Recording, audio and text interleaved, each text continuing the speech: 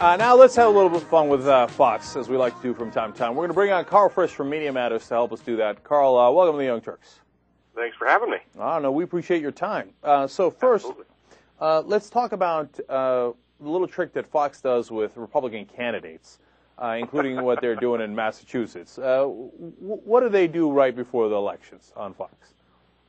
Well, um, suddenly this supposed news network reporting the news fair and balanced to offering up its airtime free of charge to whatever Republican candidate happens to be, uh, you know, just days away from an election. Yeah, that is uh, interesting.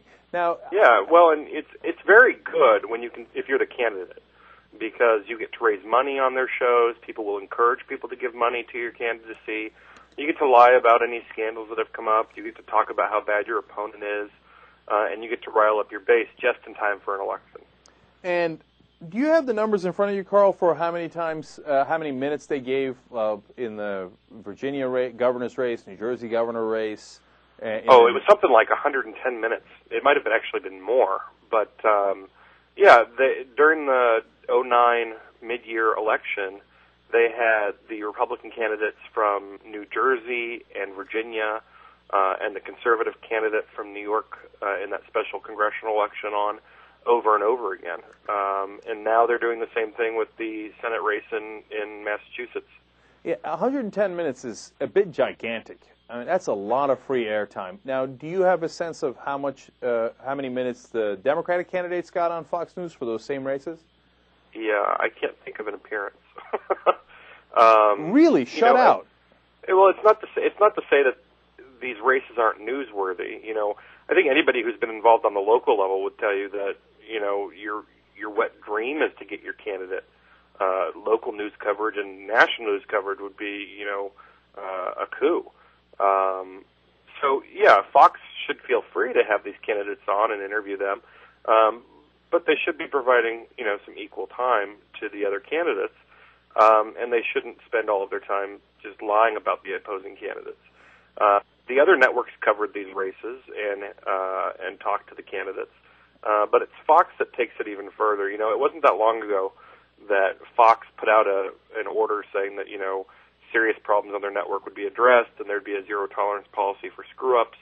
Um, Mike Huckabee was raising money on his television show uh, on on the weekend at Fox, uh, and then turning around and giving that money to candidates. He would give out the website for people to go to and it sounded innocuous. It was something like, uh, you know, cut the waste and lowertaxes.com or something like that. Uh, and then when you went to that, it actually sent you Mike Huckabee's PAC and asked for money.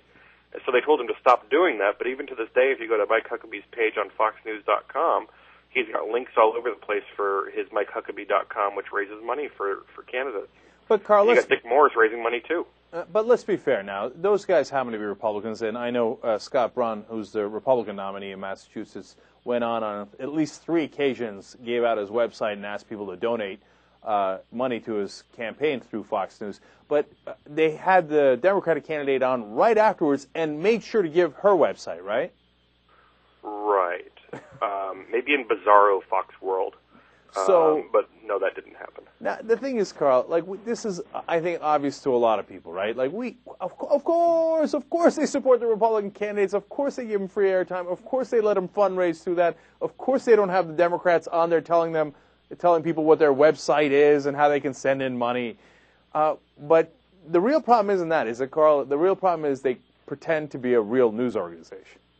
Well, that's just the problem. You know, an argument however misguided, could have been made a year or two ago that Fox News was a conservative news outlet.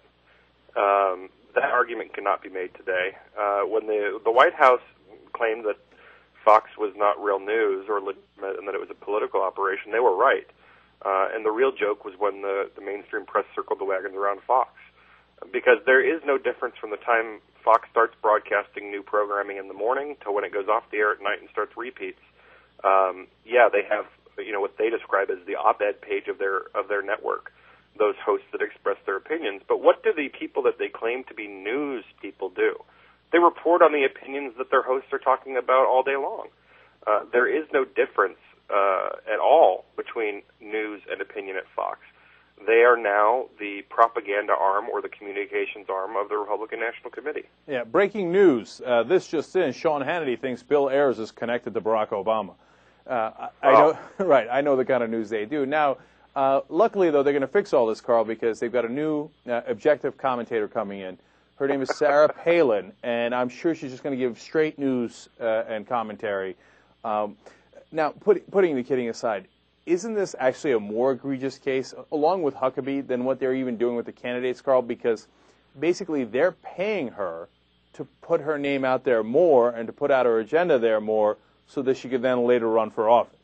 Well, not just put her name out there. She was on O'Reilly last night uh, promoting her book, defending herself, talking about an event that she's being paid to speak at.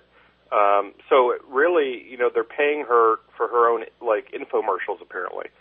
Uh, I have to tell you though, the the most hysterical thing happened on Glenn Beck tonight um, in a sit-down interview between two titans, uh, intellectual heavyweights, Glenn Beck and Sarah Palin. Uh, you know, Fox's resident conspiracy theorist in chief asked Sarah Palin who her fa- favorite founding father was. Uh, now, I'm sure if I asked you that question, you'd be able to talk a bit about some of them and maybe all, you know, a, a big number of them. Oh, no, no, no, no. Wait, wait, Karl, I didn't see this, but I can't wait for the answer. Okay. Can you guess? Okay, first of all, here's what I guarantee you. It certainly wasn't someone like Tom Paine, right? no. Okay, and could she get Jefferson or Washington or Franklin? Come on, please Are tell you giving got... names? Let me give you a clue. What newspapers do you read? Well please tell me she could name a founding father. Please tell me. Her favorite, according to Sarah Palin, her favorite founding father is all of them. Oh, just on. like the newspapers she reads. Not kidding. She eventually talked about Washington, but uh, yeah, her favorite founding father is all of them, according to Sarah Palin. No, that's that's it's unreal. It's it's so pathetic. But you know what? And that's my final question to you, Karl. Admit that Media Matters actually loves this, okay? Because you're going to get such great material from Sarah Palin on Fox News. Well, you know, it's not just Fox. You know, it, it was just today that Pat Robertson said that uh, the earthquake in, in Haiti was caused by a pact the country made with the devil.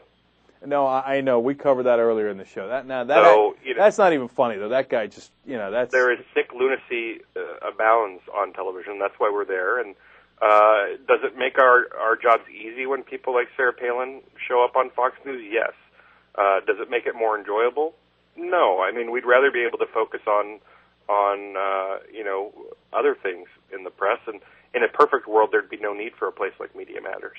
Right, and for those of you who don't know, of course, MediaMatters.org, they just all they do is they track what the conservatives say on air, and they say, all right, well, here it is, and that's why Bill, the likes of Bill O'Reilly hate them because they're like, how dare you quote me? So, uh, and you guys do a good job of driving them crazy by simply just quoting their words back. So, right, they don't like transcripts or videos of themselves. The radio hosts don't like having the audio uh, put up there with transcripts. The newspaper reporters don't like the facts being pointed out. But we've got to do it um, so that people out there that don't have time to sift through all the news that we do, or perhaps just we read one paper and assume what they're reading is, is correct, so that they can get the facts somewhere.